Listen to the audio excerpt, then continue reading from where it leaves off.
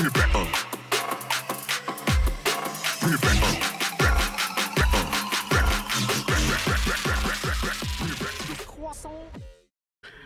this is Chaynne, and welcome to episode 22 of Rustic Waters 2. And um, in the last episode, we started um, Ars Nouveau. Am I wearing my. No, I'm not. Right, we started Ars Nouveau, and um, we also. No, that's gone. I forget. No, I've forgotten that this is a very specific you have to look at specific points in order to get your your armor. But yeah, um I finished off the Ore Dictionary Oredictionificator. Yeah, Oredictionificator. All right. But basically you can um you can convert all of your um all of your no cancel you can convert all of your um, ingots so then for example for copper there's like five different types of ingot so you can put them all through that you pipe things in it passes through and then it spits them out from what I understand and it will all be the same um they'll all be the same ingot or dictionaried. So there's that. I have yet to try it. I just made it, put it down um, in the. Uh, where are we? Ocean organizing. In this, it explains what you can do. So it says any of the items you pipe through it will come out the other end as the filter you set. So that's something that I can do, you know, outside of uh oh this is xp don't want xp that's something i can do i don't have to do it on camera okay so what else did i oh i went and got some i got some animals i was growing animals not a sentence i thought i would have to say but i was growing some animals um i just went and think uh fenced that off because you know animals and we have lots of chickens. I probably shouldn't let them wander around, but there you go. Um, I've made this platform up here to put the mycelial stuff for Ars. So I will set that up in a second. I probably will fence it off to stop the animals from walking all over it. Actually, I think I will do that. Because, I mean, they have free range of in here. This is now the animal room. I'm going to have to think about getting some kind of vacuum something to, um, to get them to, to pick up all the, the eggs. So that's the other thing. But those were the only two things that I really did, to be honest. Didn't do much between episodes. So, are you stuck there? I think that bee is stuck there. Or it's trying to get out. I don't know. Maybe it's just resting. I have no idea. Right, today's episode. I've rambled for long enough. Um, let's put these eggs in the fridge. You're not supposed to keep eggs in the fridge for real life, are you? I, to be honest, I don't know. I'm sure I read somewhere you're not supposed to, but you know, just one of those random things. Right, today we are going to be doing um making some source so that we can start making glyphs because I want to be able to get two hateful hearts so that we can, you know, get on to two hateful hearts and then from that we can make the um the major spell book and the Totem of Undying, um, you can buy that. Ender Pearls, you can buy those. So, you know, let's get on with it. So, today, uh, mycelial source link converts dirt in a 3x3 area below it into mycelium, which allows for the spawning of passive mobs, which we already know. The source is a liquefied version of mana that can be generated using source links. This source is needed to fuel many of the arcane machinery that you will use within this mod. There are five types of source link, however, this guide will walk you through setting up the mycelial source link because it serves a dual purpose. Mycelial source links consume food from adjacent pedestals and converts it into a moderate amount of source. The more complex the food, the more source it generates. Okay, so we need to make a source link, which is gold rods and not blaze rods, which I thought it was at first glance. Arcane stone, treated wood planks, two seeds, and two saplings. Okay, so we want arcane stone. How many did we need? I didn't look to see. Four arcane stone, four treated wood planks, um, treated wood planks. We need four of those. We need two seeds. We need two uh, saplings. And we need four gold rods. And gold rods, I think, is just two gold bars, isn't it? So if you want four gold rods, that means we need eight gold bars. No? Or do we have to turn it into gold plates and then gold bars? Yep. Okay, so then we'll probably need some string and there's osmium. Where is two of those and two bits of iron and some sticks to make the um the hammer. Okay, let's see if I remember how to do this. Wrong side and two sticks. That gives you the engineer's hammer. Because I think there is not much left. Where is my... Oh, there's my toolbox. I don't think... Yeah, there's only 16 left. Alright, let's just put these two together. Actually, no. I'll... Uh, might as well. Let's make our gold plates. Our gold plates, gold rods.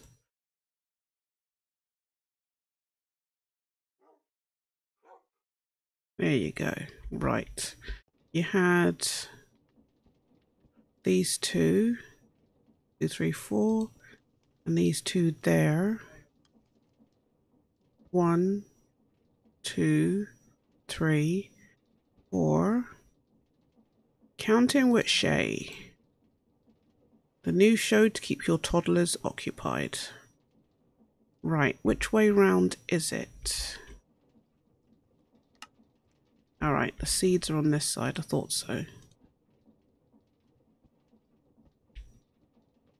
And hit the button. That tooltip was just getting on my nerves. It was in the way. I don't like seeing the tooltip. Well, I shouldn't say that. They just get in the way, basically. Okay, that's there. Okay, so we've got the source link. And we get source berry rolls. Can grants mana regeneration when consumed. Okay, so let's take that out of our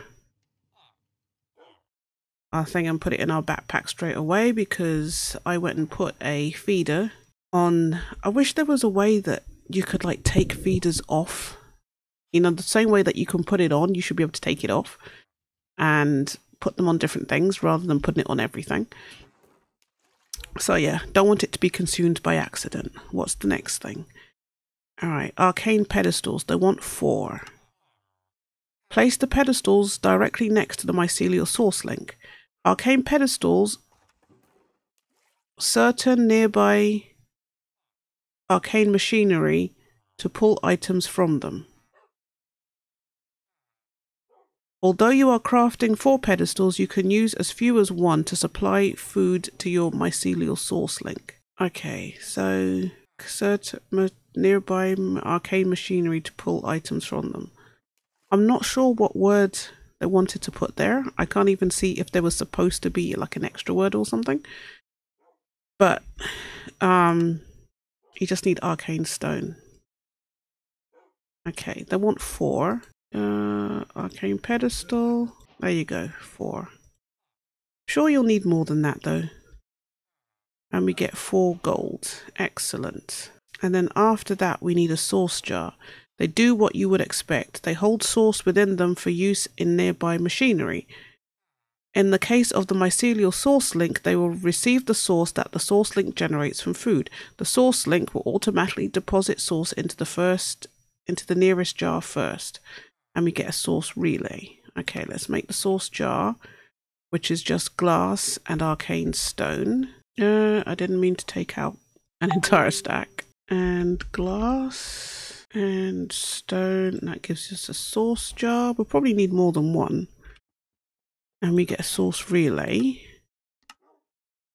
and that gives us a relay splitter and a dominion wand okay that was nice um okay you can create a network of source flowing from one workstation to the other using a combination of relay splitters and depositors use the dominion wand to link them accordingly check your worn notebook for details on using the dominion wand okay and after that, an enchanting apparatus. Mage blooms are arcane flowers that provide mage, mage bloom fiber and can be turned into sourceberries. Okay, you can craft more using the enchanting apparatus. The enchanting apparatus is an arcane crafting station of sorts. It is used to craft a myriad of tools and equipment such as armor, weapons, and curios. It can be used to put vanilla enchants onto books for less luck based gear enchanting. Side note the enchanting apparatus can be used to create diamonds and pure crystals for your applied energistics network. Check apparatus uses in JEI. Okay, okay, we can do that. More gold rods, that's why they gave you gold. Uh, treated wood and books. Kind of makes me wish I'd set everything up in the same room rather than going from room to room, but you can't really do that. It's uh, pain. All right, put you two there. Four in the middle, you two up here. Then the four arcane stones on the corners. Then four books in the middle. And two gold rods, one on each, two on each side. And then press the button move back so I don't get the tooltip overlooking everything.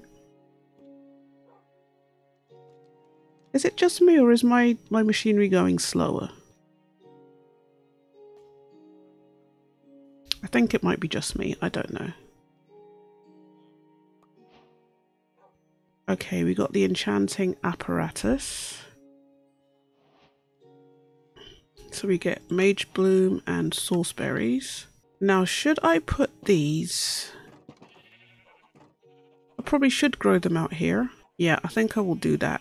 I'll grow them out here. Makes a lot, lots, a lot of sense. Okay, you've done that. And the arcane core. Pedestals can be automated via item pipes. The arcane core must be positioned directly underneath the enchanting apparatus. Surround the arcane core with arcane pedestals. Place the enchanting apparatus on top of the arcane core. Once you've decided upon a recipe, you must place the catalyst item in the middle and the crafted ingredients on adjacent pedestals. Make sure you have source available in nearby source jars to fuel the apparatus. Okay, so pedestals, they went, let us make four, but we need more than four. Because I, as far as I remember, in my brief foray into this, you can have up to eight. I think you can use, I think it's usually eight around the, um, the, the enchanting thing. Okay. All right. Let's make, let's, let's make eight anyway. That's nine.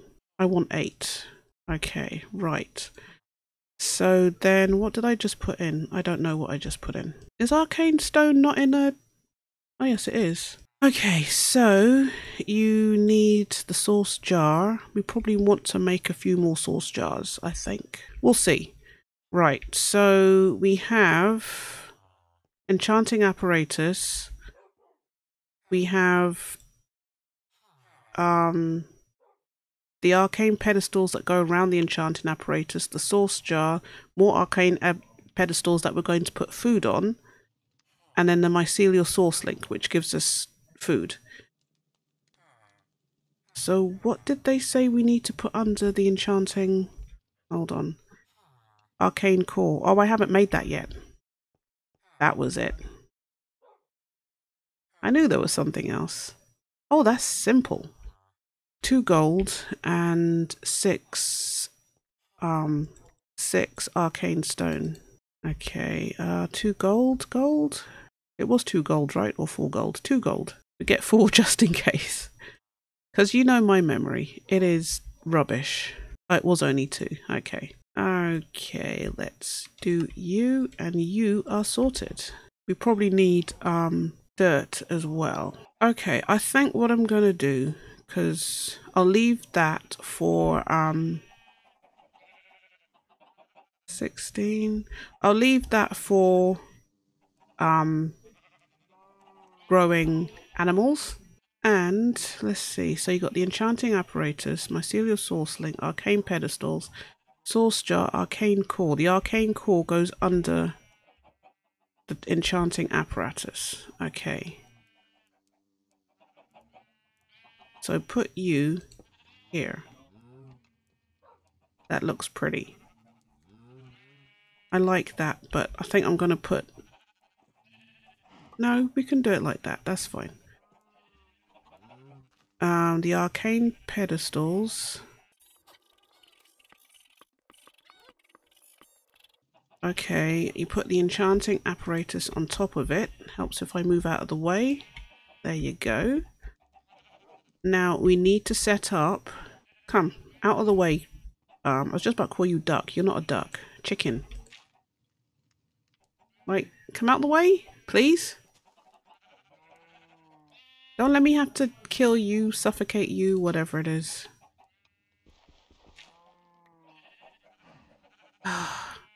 Move!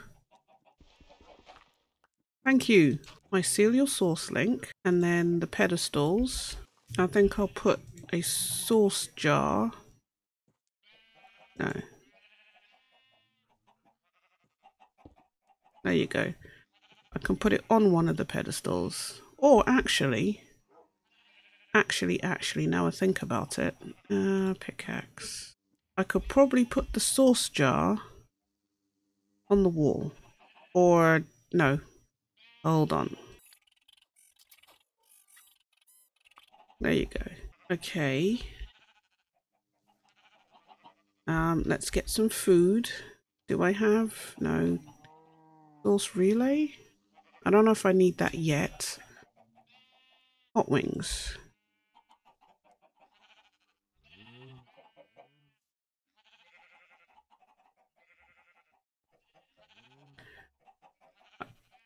I should probably put that up one. I feel like it should go up one. It's a pity you can't put the eggs on this.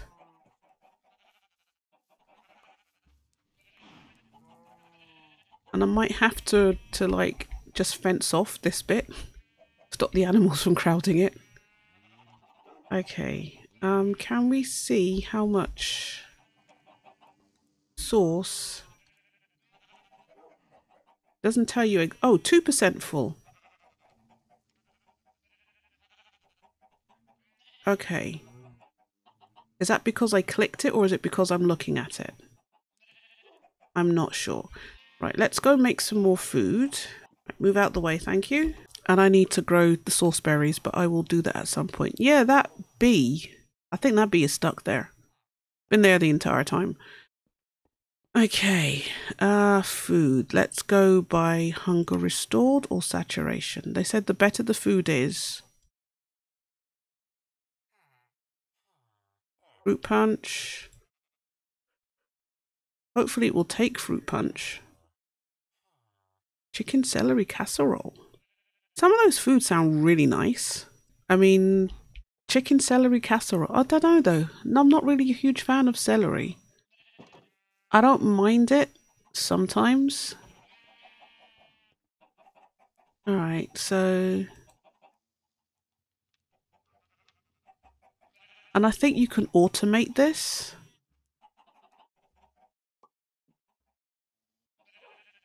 Right, you do take that, okay. I think you can automate stuff going into the pedestals.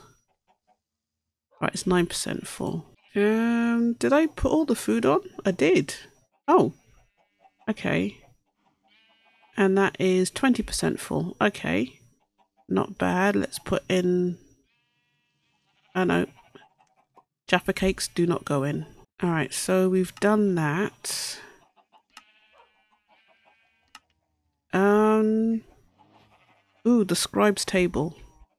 That looks like a good thing. Because then once we've done all of this, we can... um. Devaria, why are you standing on the plate? Come, move out the way. I don't want you letting out any of these animals. Devar... Oh, you're lucky. Uh... Yeah, once we've made that, then we can enchant stuff. And then in the next episode, we're going to go fighting because I've got um oh I should move this out of my thing too. I don't want that can go in because I don't want to drink it by accident. Cookout meal. Oh, nice. What was it? Scribe's table. Oh, I didn't need the gold. Sticks. Uh archwood archwood logs, which I have, and archwood slabs. Alright, we got wood. We got slabs and we got sticks. Yeah, scribe's table. Nice. Okay, ooh, an enchanter's mirror. Alright, some imbuable object items offer benefits such as the mirror, granting the attached spell 100% duration increase. The scribe's table will allow you to transfer spells that you have created in your spellbook to items that can be imbued by these spells. For example, imbuing the enchanter's bow with a cold snap smell will cause whatever target you hit with an arrow to be also hit with cold snap. Right click an imbuable item onto the scribe's table. Make sure your spellbook has the appropriate spell selected. Shift shift right click on the table to imbue the item on it. Okay. I had I had seen Yorkshire Panda put healing on an enchanter's mirror. So then when he needed healing, he could use it to instantly heal himself rather than waiting to eat food and stuff. So, but obviously, I'm going to have to. What is the healing? Um. Oh, don't you have to make? Oh, okay. A jar of light. Enchanter's Mirror is an item that casts a spell on with the self form. Great for imbuing spells that heal or buff you. Okay. There is a sword. Uh, Carbuncle, Wixie, Sylph, Bookwyrm, and Drygmy. Oh, those are those guys that were upstairs. Okay, what's the Enchanter's Sword? It's a very powerful weapon that crafts with a power 10 and looting 5 enchant. It can imbue, be imbued with a spell at the scribe's table. When you strike an enemy with the sword, the spell that it has that it has imbued will automatically cast at the target. While imbuing when imbuing the spell, note that the sword has a built-in has a built-in touch form, so that the rest of your spell must only contain augments and effects to that form. Okay, so how do you make the sword? Activated Idol of Sacrifice, Source Gem Block, Block of Gold, and the Glyph of Touch. Okay, and we get Honeykin. That means we need to make magic clay. We need to make the glyph press. Do I have any warp scrolls so at least I could get that? I'm sure I have one. Yes, I do. I know what you you can use it like a, a temperate like to warp to places, but um, it's it's a one-time use thing. Additionally, you can build a portal frame out of arcane stone and toss a portal scroll in it to set its permanent location.